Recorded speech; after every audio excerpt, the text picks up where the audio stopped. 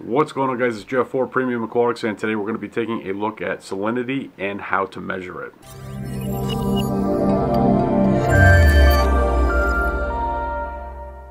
This is first time being here, this is where I team up with Premium Aquatics to take a look at gear that is available to you and how it can help you become a more successful hobbyist. So if you're new to the channel, hit the subscribe button and make sure you hit the bell so you can stay up to date every time that we upload a brand new video.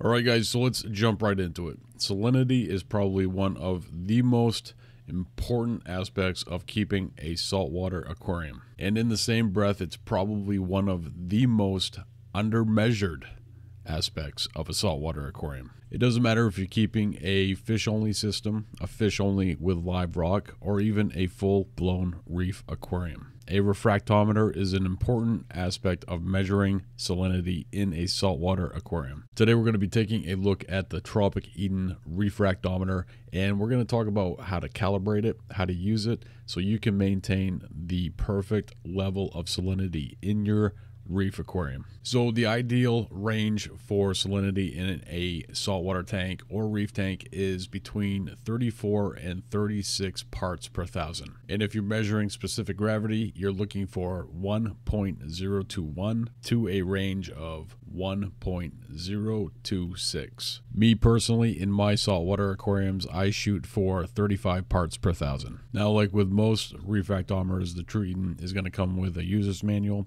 It's going to come with some pipettes, a calibration tool, and something that was a little bit different that I haven't gotten in previous refractometers is the carrying or storing pouch it was a pretty nice touch that they have there. The overall quality of the True Eden refractometer is really impressive, and it's probably one of the heaviest units that I ever have used in my time during the hobby. Overall build is very similar to most standard refractometers. It is a little bit heavier, like I've already talked about.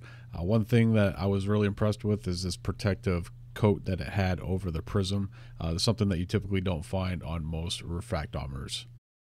Now let's jump into calibrating a refractometer so you can get the most precise measurement when you are checking the salinity in your reef aquarium. When you're calibrating your refractometer, there is some misconceptions out there floating around on the internet and a lot of people will use RO water to calibrate their refractometer. This isn't really the best way to go about it. There are calibration fluids available and I use them personally myself and the benefit to using a calibration fluid is you're dialing in the refractometer to a specific gravity, not necessarily to zero with fresh water. So when you look through your refractometer, you're basically going to see this blue line. The base of that blue line is the level of salinity and or specific gravity. What we measured here was RODI water. That's why we got a reading of zero. The problem with calibrating your refractometer with fresh water is it can give you false readings. So there could be some salinity present at that point.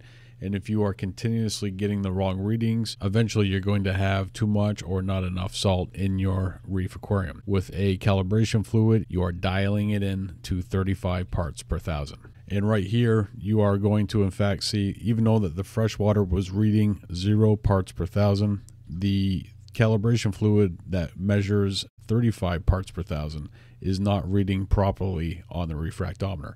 So if you were mixing salt water and adding it to your tank and taking readings with this refractometer based on the fresh water reading, you would not have enough salt in your saltwater aquarium. So to calibrate your refractometer, all you need to do is take the plug off and use your calibration tool and slightly turn the calibration tool till you get to the correct 35 parts per thousand. And that's all you need to do to calibrate a refractometer. Another helpful tip when you're using a refractometer is to wipe it down and then rinse it with fresh RO water. This is going to help remove any salts from the prism and help you avoid false readings in the future. I avoided using refractometers for a long time and I wish I hadn't. They are extremely accurate and make measuring salinity in your saltwater aquarium very easy. If you want to check out the Tropic Eden True Saltwater Refractometer, there is a link provided in the description below.